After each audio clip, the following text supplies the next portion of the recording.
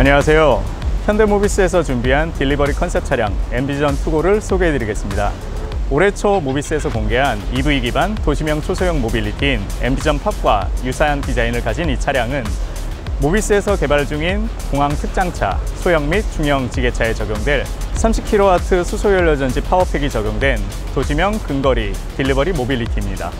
보시다시피 수소 탱크는 시트 하단에 배치하고 시트 후방에 연료전지 power pack을 packaging한 컨셉을 보실 수 있습니다. 그리고 엠비전 팝 대비 600mm 길어진 전장은 delivery에 충분한 luggage 공간을 확보하였고 rear 범퍼에는 탈장착 가능한 카트를 적용하여 운반 편의성을 증대하였습니다. 전방 글라스에 적용된 외부 커뮤니케이션 디스플레이와 더불어 rear 및 사이드 글라스에 외부 광고형 투명 LED 모듈을 적용하여 향후 성장 가능한 모빌리티 광고 플랫폼에 대비하였습니다. 차량 내부에는 플라스틱 폐 팔레트를 인테리어 내장재로 upcycling하고 시트에는 recycled fabric을 적용하여 새로운 친환경 모빌리티 디자인 컨셉을 제시하였습니다. 그 외 차량에 적용된 시스템 및 컨셉은 엠비전 팝과 동일한데요. 몇 가지 추가 설명을 드리자면 미국 USPS 차량의 경우 우편함의 물건을 배달을 용이하게 하기 위해서 RHD 방식으로 운영되는 것을 보실 수 있는데요.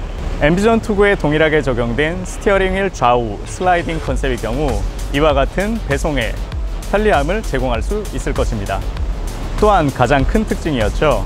조향, 제동, 구동, 서스펜션이 통합된 이 코너 모듈이라는 기술의 컨셉을 적용하여 이 좁은 공간에서 제자리 회전 및 crab 주행을 통해 평행 주차를 할 수 있는 실제 구동되는 모습을 보실 수 있습니다.